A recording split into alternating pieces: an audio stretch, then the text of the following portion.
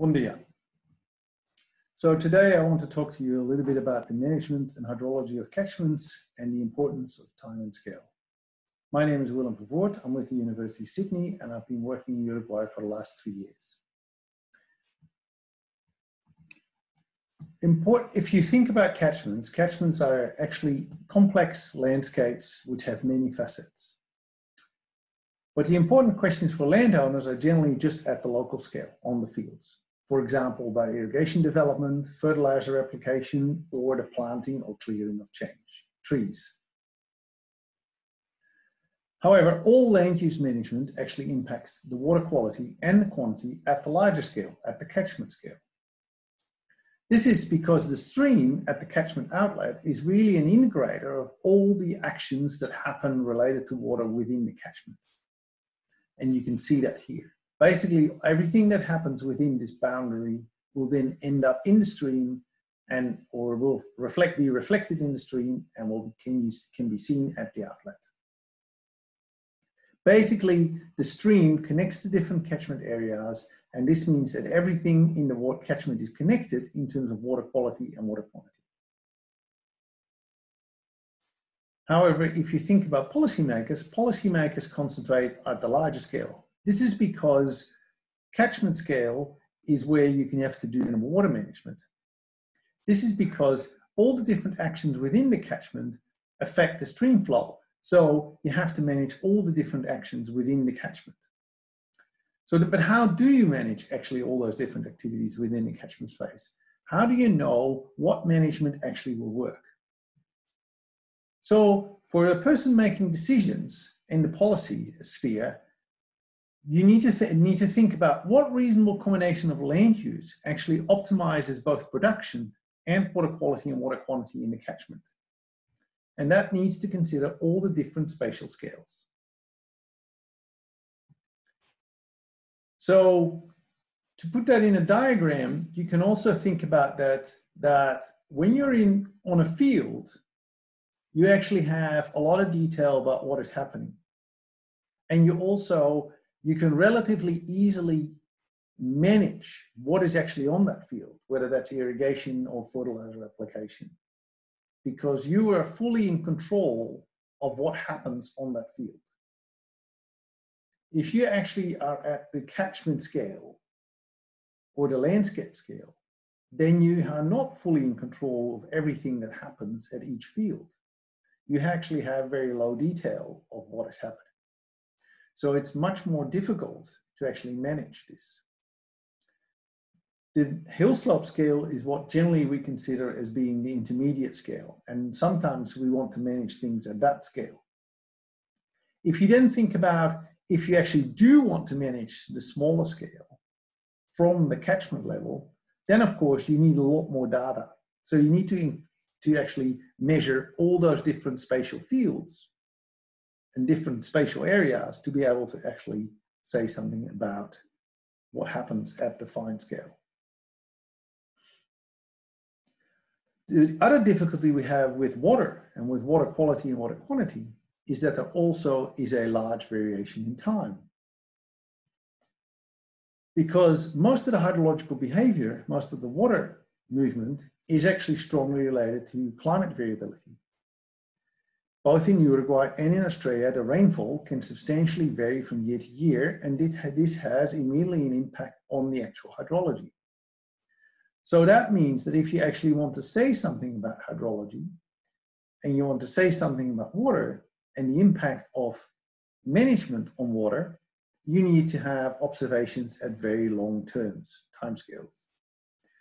For example, here looking at annual data, at data for over the year, you can see that the relationship between rainfall and runoff is quite different when you're looking at a year that's not a drought and a year that is a drought. And there's more work in this paper on this. But even if you look just at a daily scale, time scale, at a shorter time scale, you can see lots and lots of variation. Stream flow can vary quite rapidly with floods, with rainfall, and that makes it really difficult between this high variation to actually identify what the impact is of management. So should we be taking a lot more measurements? Maybe we should just be taking lots more measurements. And then we can analyze the data and we can look at whether the data actually tells us something about change on, in terms of management. For example, there's an increase in forestry in Uruguay. Can we analyze from the data how that affects the stream flow? yes, measurement is really important, but a lot of the processes that we're talking about actually operate quite slowly. And you can't really measure 30 years to look at that impact. That would be far too expensive. We also can't look into the future from data. We can only look at what's happening now or what's happening in the past. And sometimes we actually don't want to really apply all scenarios or policies that we thought about we just want to test a few policies. We want to know whether they will work. And finally, the last thing is that if you think about measurements as being accurate, that's of course also not totally true. All measurements have their own inaccuracy. Then you can think about what we can actually management. So if you think about water quality, and for example, the example of buffer zones, there are many processes that actually determine the water quality. We generally think about that in terms of source. What is the source of the contaminant? Mobilization, how is it moved through the landscape? And delivery, where does it end up and where does it actually drop out of the water? Each of these processes actually have both a space and a time component. So where we place the buffer zone, how wide it actually is, and what the rainfall is will actually affect those three terms and will affect the effectiveness of the buffer zone. So what we actually need to do and what is useful for this is actually have some space-time models, some simulation models that allow us to analyze different scenarios. So I would argue that space, we need space-time models to evaluate policy and management within a catchment. The nice thing about hydrological space-time models is that they can simulate the management actions and the policies they can simulate the changes in land use, and they can simulate the climate variations that occur. So we can actually really look at what the impact is of our management.